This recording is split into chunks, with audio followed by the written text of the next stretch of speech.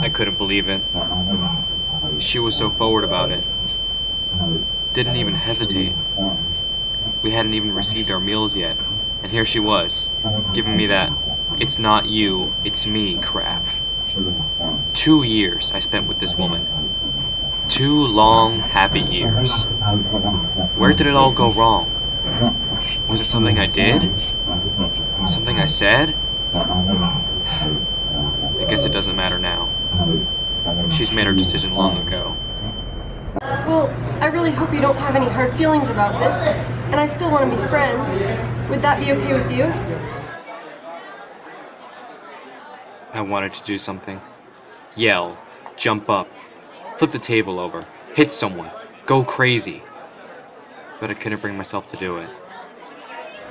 Yeah. Yeah. That's fine.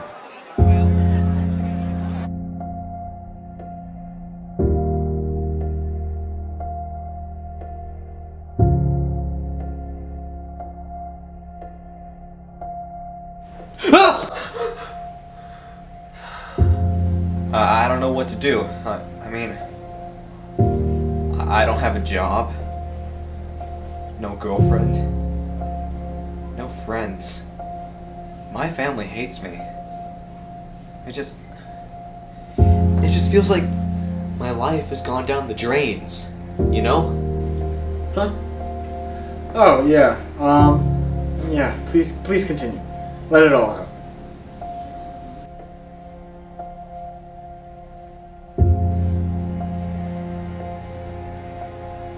Forget it.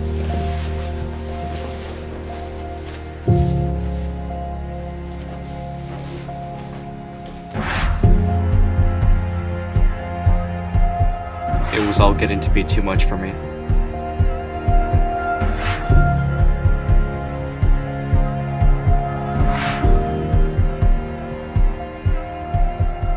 I didn't want to live any longer. I could fix all of my problems right then and there. I could just end it. Some say there's an afterlife. That'd be nice. But others say you're reincarnated in a new body. That could work too. I could start fresh and lead a better life. But others say that there's nothing after death. You just stop existing. But whatever the case, it'd be better than this miserable thing I call a life. There'd be no one to miss me, so that's something.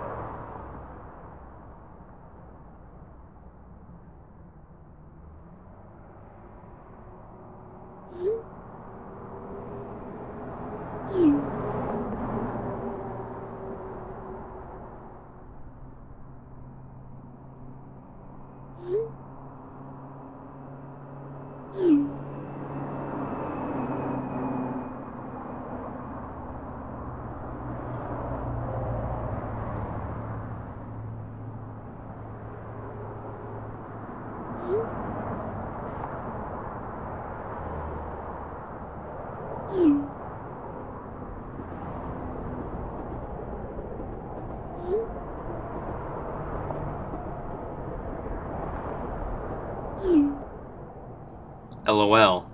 Laughing. I couldn't remember the last time I made someone laugh. Who was this Tori girl? I barely knew her, and yet I felt a strange connection to her.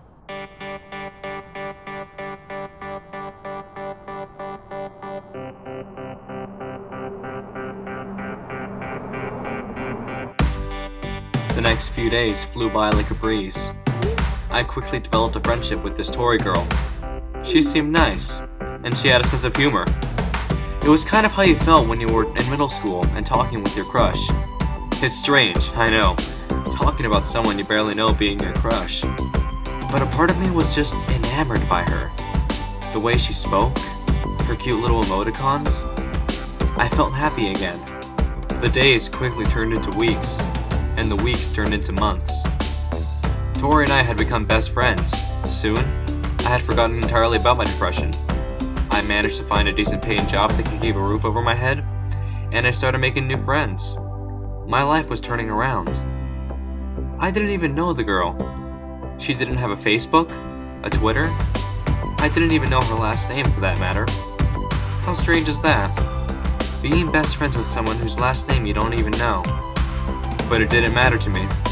Tori was on my mind every day, in and out.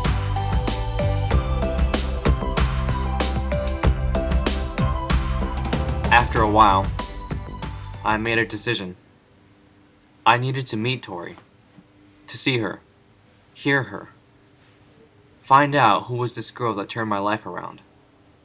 But every time I tried to bring it up, she changed the subject. Odd. But I didn't give in so easily. Almost a whole year of texting really did wonders for me. I had developed a knack for writing intricately long and detailed messages, and I used this skill to try and convince Tori to let me meet her. I had it. It took me 1,000 characters, but I had the message. I tapped send, awaiting her response. But it never came. I shrugged it off, figuring she had fallen asleep or something. So off I went to sleep.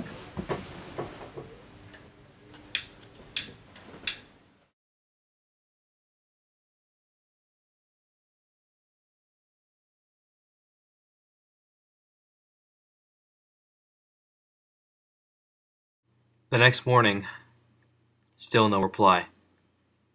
This was strange. Normally she would reply within a few hours. I tried not to think anything of it and got dressed for work.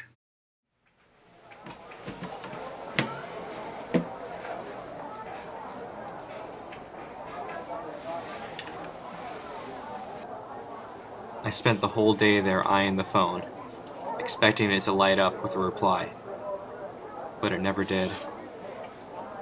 I was starting to get nervous. Why hadn't she replied yet? Did something happen? Was I too straightforward? Does she not like me anymore?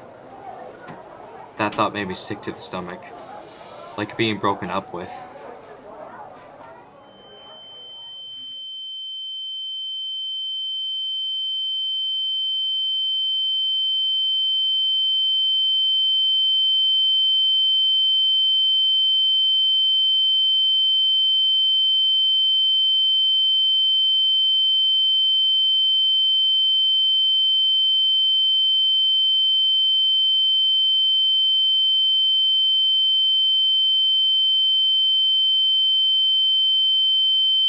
I got home later that day.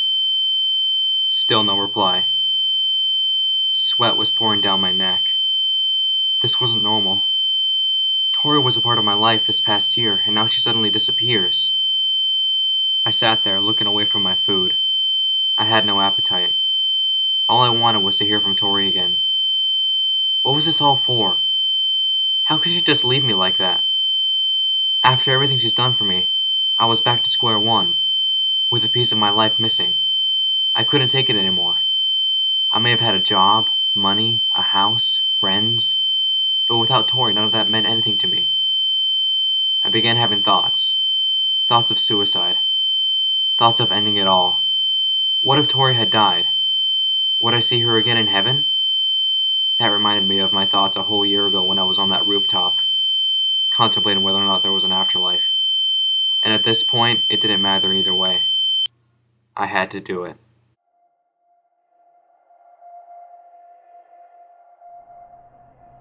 And now here I am once again, looking out over the city.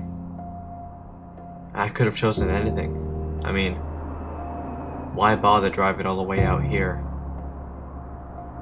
I guess it just seems more appropriate. Almost poetic.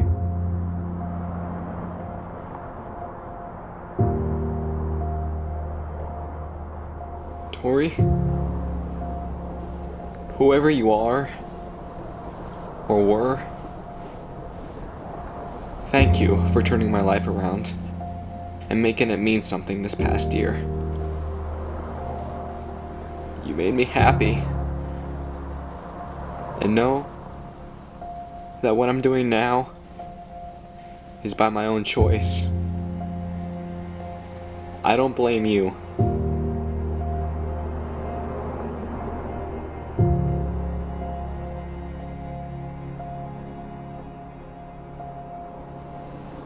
Hello? Tori? It's nice to finally meet you, John.